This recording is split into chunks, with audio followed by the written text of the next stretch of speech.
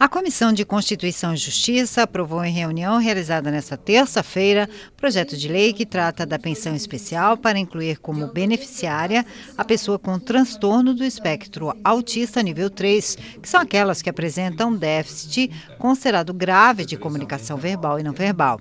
Por conta dos sintomas e dependência que merecem cuidado, o projeto pede atenção especial a essas pessoas. Outra matéria aprovada está relacionada à área da segurança pública e dispõe sobre os fundos rotativos do sistema penal do Estado. A unidade é responsável pela gestão de recursos dos estabelecimentos penais, de acordo com a divisão geográfica que é definida pela Secretaria Estadual de Administração Prisional e Socioeducativa.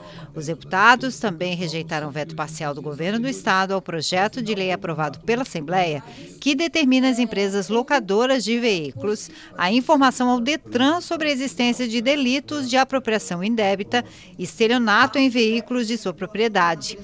Outra proposta aprovada reconhece o risco de atividade e necessidade de porte de armas de fogo ao atirador desportivo. O projeto foi aprovado com dois votos contrários.